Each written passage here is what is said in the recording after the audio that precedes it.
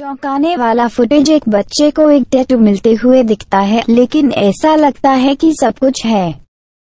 लेकिन शिशु भी एक आँसू नहीं डालने, क्योंकि स्याही कलाकार अपने छोटे छाती पर एक डिज़ाइन खोदने के लिए दिखाई देता है।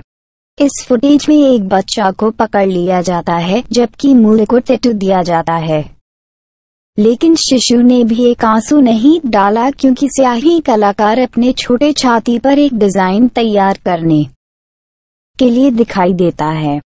असत्यापित वीडियो में बच्चे को अपने पैरों को लात मारना और घबराहट दिख रही है।